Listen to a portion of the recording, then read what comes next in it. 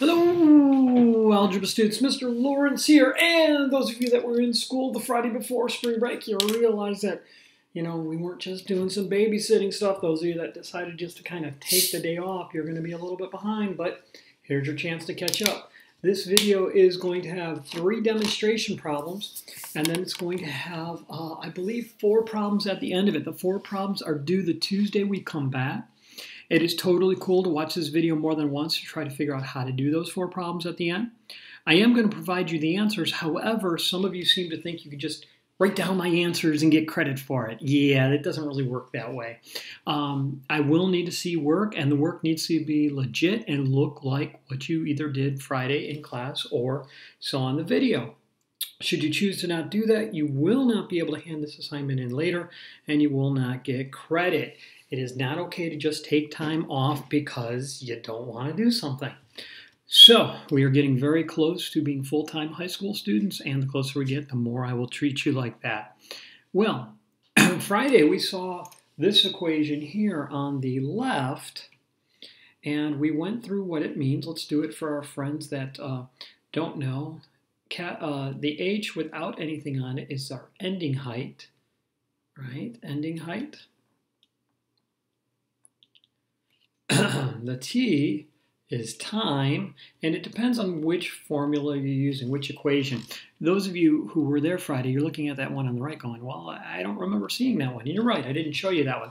This one is when we're dealing with feet and seconds. Okay, and this one is when we're in metric units, meters and seconds. Okay, and you'll know based on the heights I give you will either be in feet or in meters, and the velocity will either be feet per second or meters per second. And so you'll be able to know which one to use. Uh, they're exactly the same except for the coefficient on t squared. A is different. It's a 4 point, negative 4.9, 4 9 tenths. But on the feet, uh, the English standard units, it's, excuse me, negative 16. So the variables don't change. All right, V sub O is your initial velocity, your original velocity, or your starting velocity. Now, some of you will go, well, hey, what's velocity? Velocity is speed plus direction. And that's why there's a plus and a minus, okay? If the thing is initially going upward, we'll use the positive. If the thing is initially going downward, we'll use the negative, okay? And then h sub o is your starting height or your initial height or your beginning height. Okay, starting height. Now, it's not always going to be off the ground. We're going to be using these equations to find out how things will fall the, on the Earth. Now, I must preface this. We are neglecting air resistance. We're pretending that there is no air. And so um, things will happen differently if we account for the air. But we're not going to be ready for that. We're not going to do that in this class probably do that in a physics class in high school or perhaps in college. All right, so let's get down to this. I've got three sample problems that I'm going to go through with you, and then I'll turn you loose on the four problems. Now, there's the first sample problem, there's the second one, there's the third one. There are the four sample problems, and the last page are the answers, okay? And so I will show them to you for a long enough time. You can pause your video and get what you need. But again, if you just write down all these answers without any valid work, well, you're not going to get credit for this assignment. Okay, so here's the first sample problem. A ball is kicked off the ground with an initial velocity of 50 feet per second. When does it come back to the ground? Well, first thing we're going to do is we're going to draw a picture.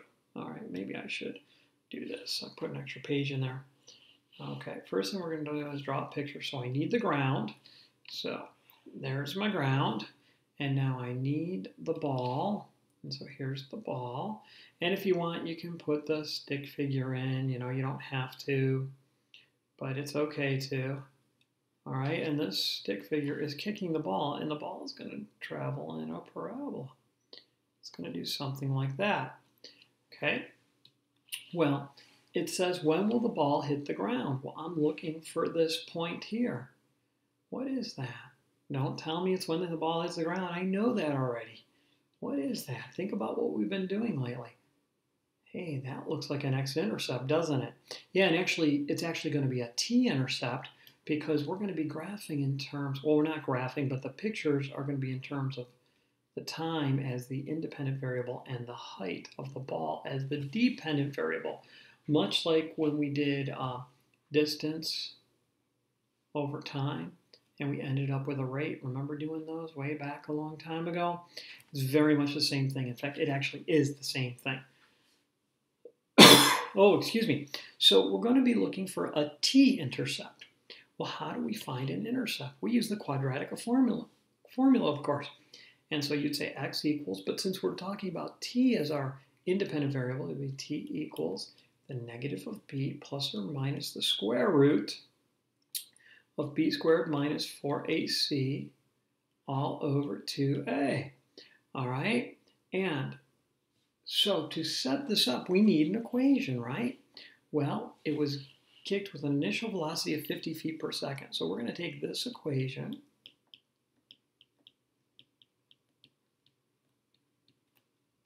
and we're going to fill in everything we possibly can and see if we can't come up with a quadratic equation uh, and uh, do our ABC thing. Okay, so the ending height is when it's back on the ground, so that's going to be zero, and that's a good thing because I want my quadratics to equal zero when I go to solve them. Now the negative 16 is a constant, so that's in the problem. T is what we're solving for, the time. How long will it take? All right, so that's got to be there. Now the initial velocity is 50 feet per second, T, but is it upward or downward? Well, they're kicking the ball up, so it's a positive 50. And the starting height is the ground, so that's also zero. So I'll put a plus zero in there. So if I go identify A, B, C, easy as negative 16, 50, 0. And then I go to my quadratic formula, t equals the negative of b plus or minus the square root of b squared minus 4ac all over 2a. Now, some of you say, well, Mr. Laurence, shouldn't we find the discriminant? You go right ahead. You can calculate the discriminant. There's nothing wrong with that. If I do the discriminant, I'm going to get 50 squared minus 0 because 4 times 16 times 0 is going to be 0. And so 50 squared is going to be 2,500 or 2,500. So if you like, you can go, well, t is going to equal negative 50 plus or minus the square root of 2,500 all over negative 32. And I'm going to simplify that to negative 50. That's supposed to be an equal sign there. Plus or minus 50, right? All over negative 32. Now, if you're paying attention to the problem, this is going to be really cool. Because I'm going to do negative 50 plus 50 and get 0, right? Negative 50 plus 50 over negative 32. And then I'll do negative 50 minus 50 over negative 32. And so I'll get 0 over 32, which equals 0. And I'll get uh, negative 100 over negative 32, which I'll have to uh, divide or simplify. I'll go ahead and simplify it. It looks like it's going to be a positive 25 eighths, I believe, which will get me uh, 3 and 1 eighth all right, or as a decimal, 3 and 125 one thousandths.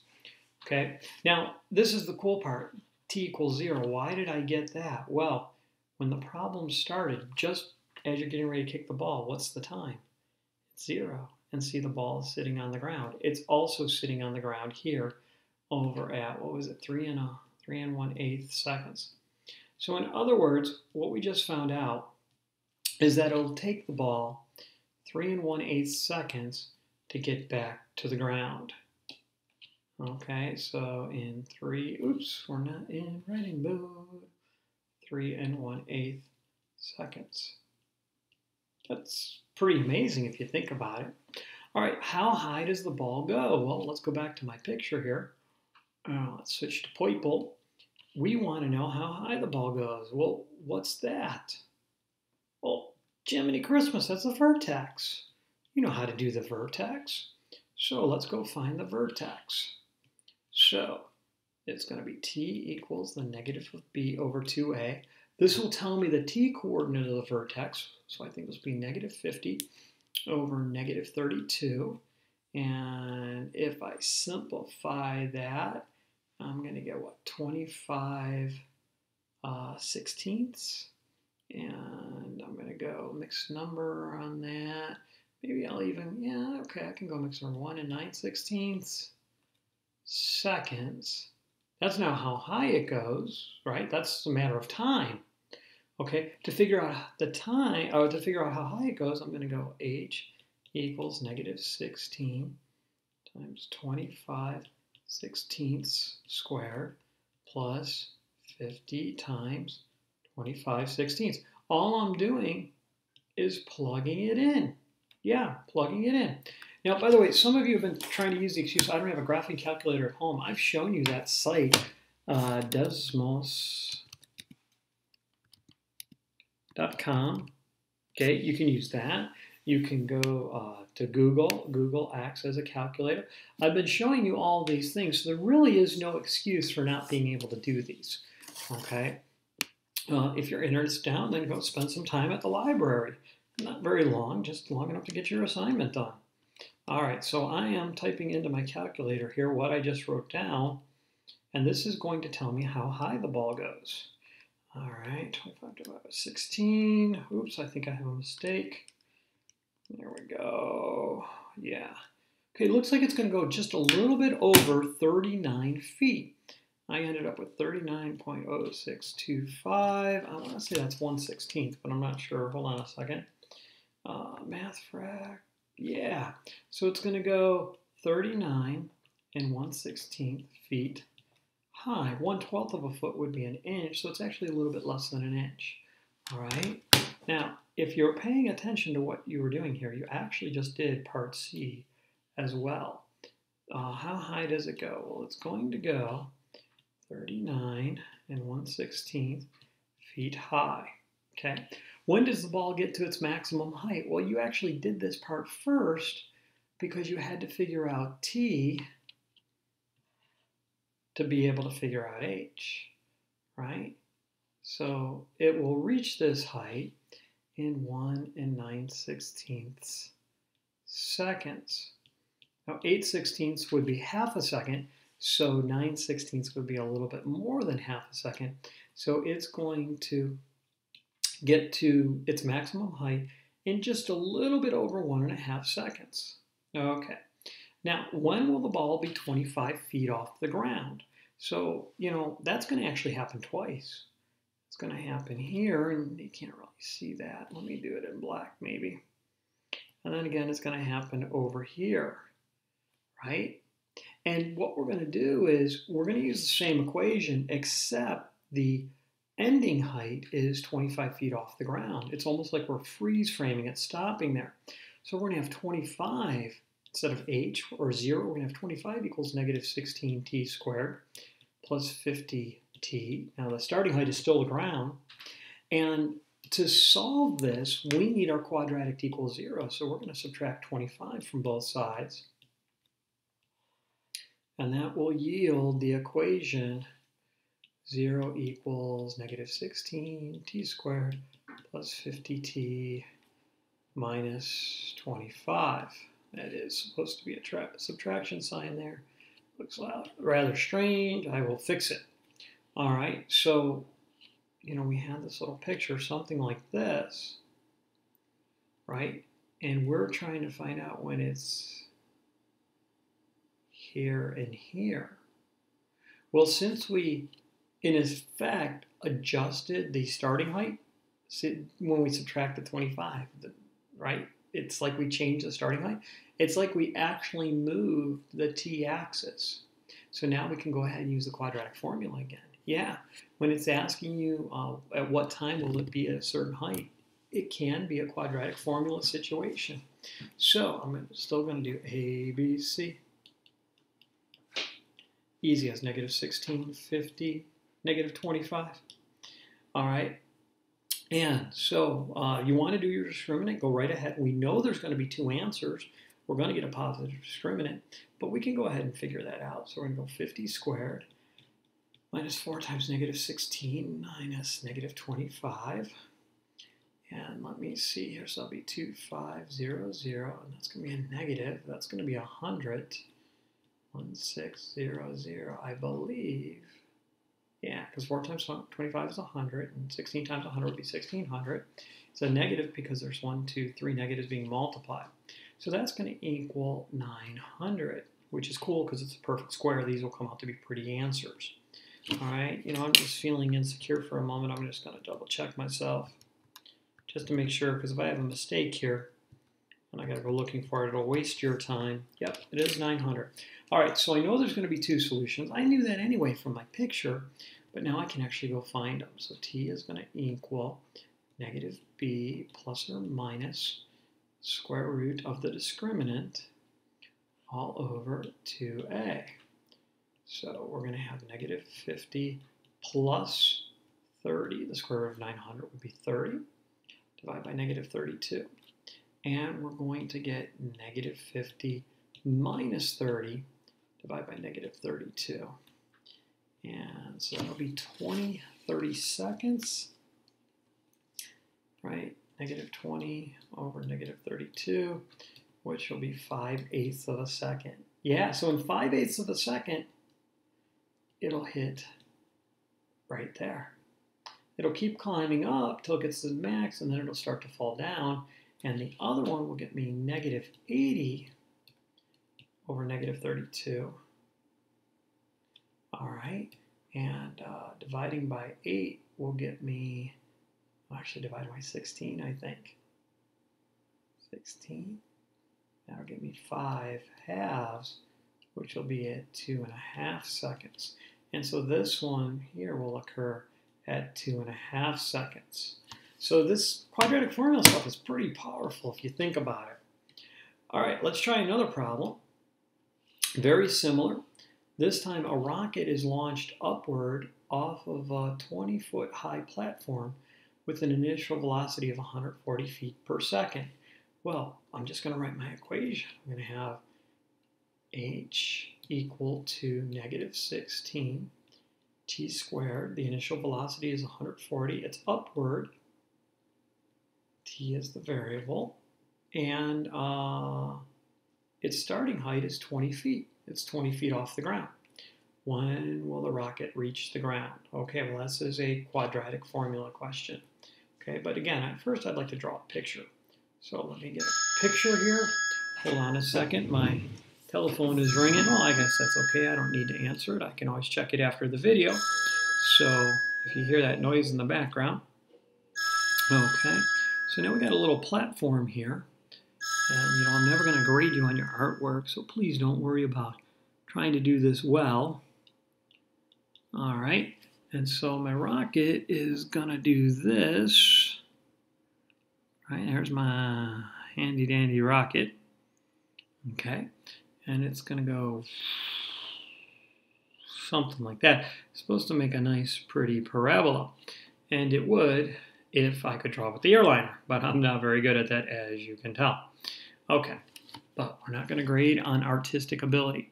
So we're trying to find out this one here, right? When will it come back to the ground? Now, there's no parachute on the rocket. Don't add anything.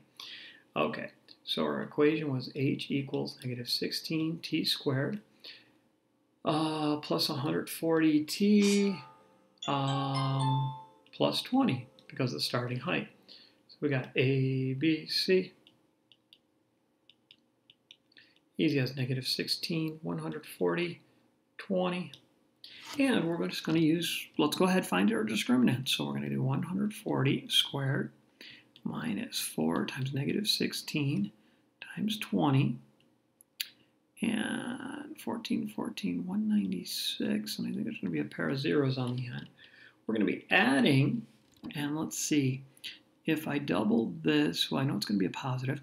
So if I double this, I get 32 and I double it again, I get 64, 128, 10. So 1, 2, 8, 0. And so that's going to end up being uh, I believe that's right. Okay, so now watch what's going to happen here. I'm going to go use the quadratic formula using that discriminant, and I'm going to get a positive time and a negative time. Yeah, and it, it actually makes perfect sense if you look at the picture. You're like, a negative time? How can that be? Well, it can't. But you see, my parabola is perfectly symmetrical from this height of 20 feet there. But this part here doesn't have anything to be symmetrical with. So you see, if it were to be on the ground here, it would be like going back in time because it's starting at this point, right? This is where t equals 0. So hold on a second here. Hey, I'm in the middle of making a video. Can I call you back? Okay, bye-bye. Okay, sorry about that. My wife's trying to get a hold of me, and I'm in the middle of making a video, but that's okay.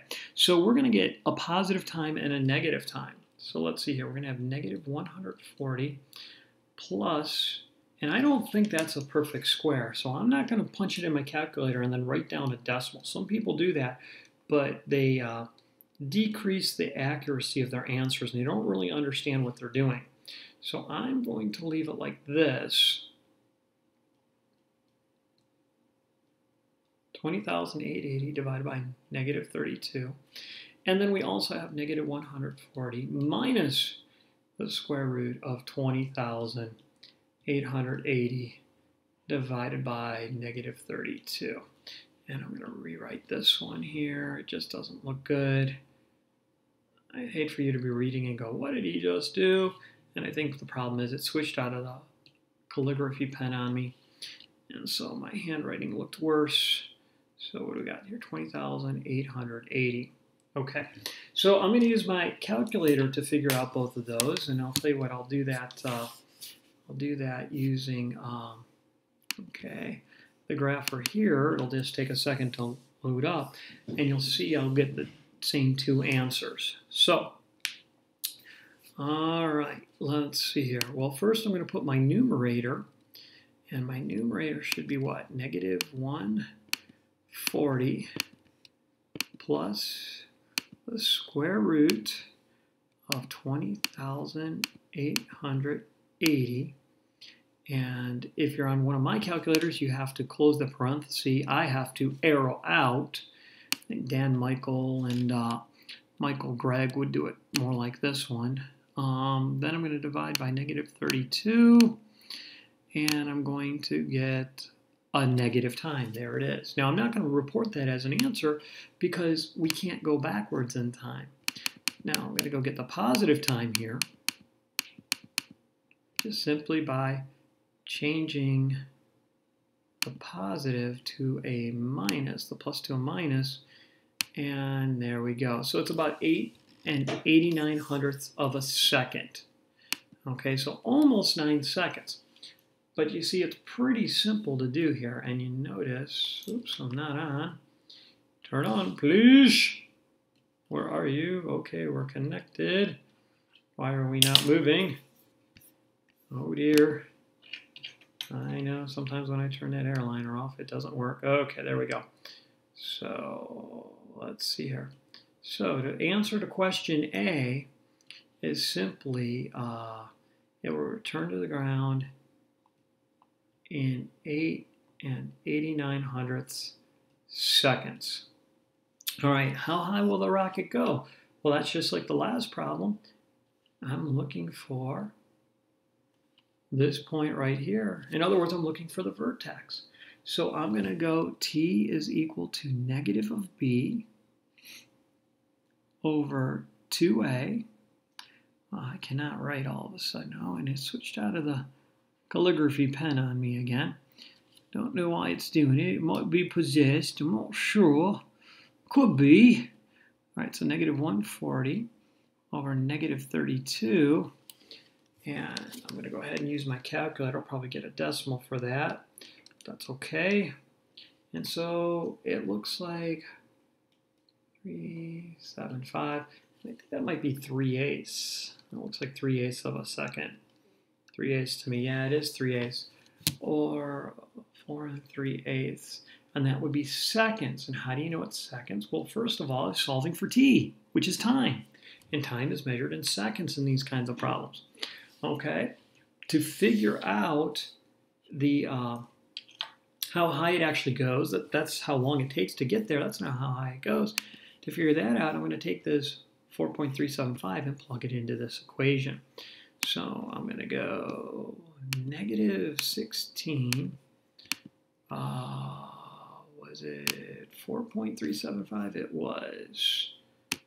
So let's go 4.375 and then we'll square it. Uh, plus 140 times 4.375 and then we have to add 20 to it because of the starting height being 20 feet off the ground. And there is our maximum height, 326 and a quarter feet, or 326 feet and uh, 3 inches. Okay, 326 and a quarter. All right, and we actually did two parts there. We did B and C kind of simultaneously. We actually did C first, if you want to be specific about it. So this was going to be uh, 4 and 3 eighths. Oops, that's not right. Uh, it goes 326 and a quarter feet, 326 and a quarter feet, and then it reaches that height in 4 and 3 eighths seconds. I think I lost a C in there. Sorry about that. All right. When will the rocket be 199 feet off the ground? Well, that problem is done the same way as the first one, except we have to put 199 in for h, and then get the equation equal zero and go to the quadratic formula. So to model that, we'll take 199, well, negative 16 t squared plus 140t plus 20, getting it equal to zero to solve quadratics, we always want them equal to zero. Well, there's a small exception to that, but most of the time I should say. And this will be minus 179. And now you can go ahead and uh, use the quadratic formula. You'll get two positive answers on your time.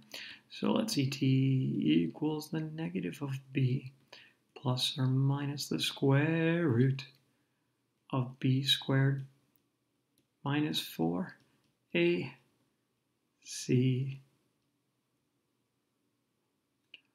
all over 2a. All right, and I'm not going to show you on the calculator on this one. I'm going to trust that you know how to do that. I'm going to, just in the interest of time, go ahead and do it on my own. Minus 4, negative 16, uh, negative 179. All right, that's closed. Close that, close that. Divide by negative 32. And I get about 1 and 55 hundredths of a second will be one of the answers. So t would approximately be 1 in 5500 seconds. And then I can just edit that by changing that plus the square root to minus the square root and I get the other one to be approximately 7 and 20 hundredths seconds. That is a rounded answer. All right, one more, and then I'm going to turn you loose. Okay, so the next problem is a rock is dropped off a 300 meter high bridge. When will it hit the ground? Well, again, I love to draw a picture first. And so you know, we got this bridge over here. Doo -doo -doo. Oh my goodness, what a terrible looking bridge. But it doesn't matter. Okay, and so we have this rock, and the rock is falling down here. Let's assume that there's water down here. It doesn't matter. Okay, whether it's water or the ground, as long as the height is the same. And we know that this distance is 300 meters. Okay, notice since I switched to meters on you, you're going to want to use h equals negative uh, 4 and 9 tenths t squared plus or minus v sub o t uh, plus h sub o. All right, now let's write our equation. So ending height is going to be zero, right?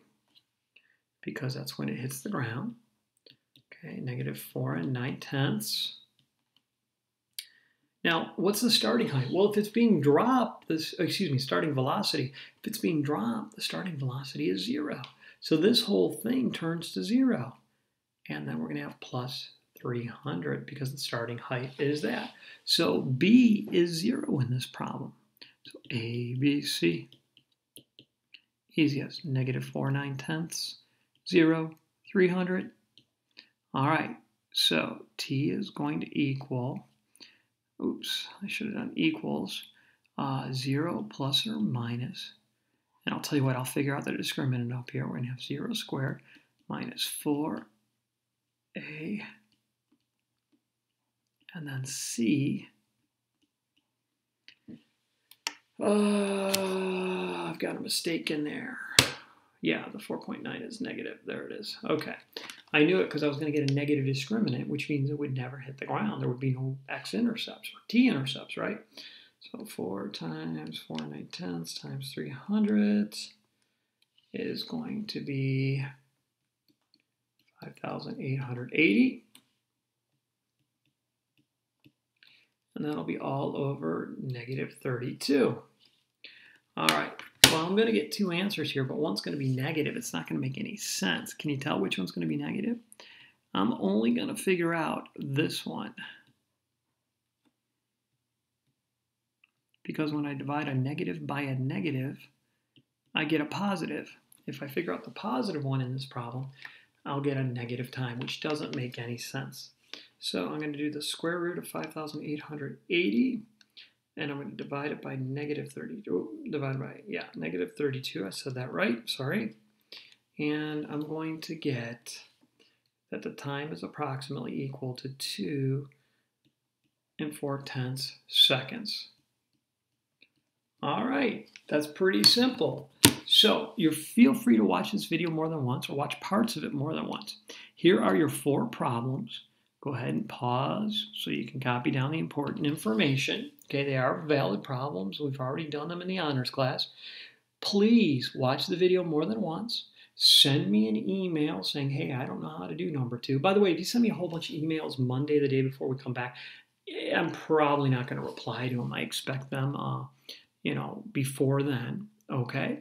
And then here are the answers. Okay, so each one has multiple parts. I know the homework said that there were eight problems, but these four problems all have multiple parts, and so I count that as actually being a little bit more than eight. All right, that's it for the video. I hope you enjoy the rest of your break. Mr. Laurence signing off. Have a good night, everybody.